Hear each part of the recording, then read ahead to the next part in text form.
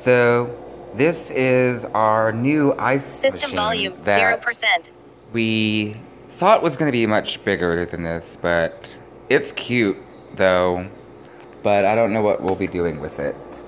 But see what happens is I'm probably all up in this. It's about to dump ice.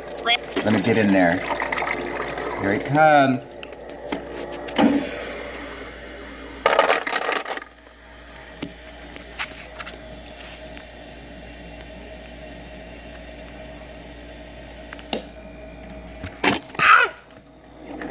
Here it comes. Isn't that cool? So, it dumps in here, and it's not keeping it iced. Because we were going to use it for the pool. All it does is leak. But that's the water reservoir where you put the water. And it pumps up.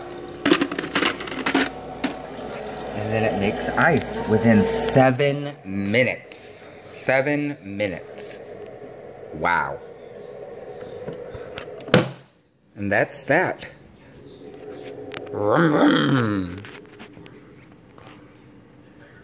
It's creating the ice.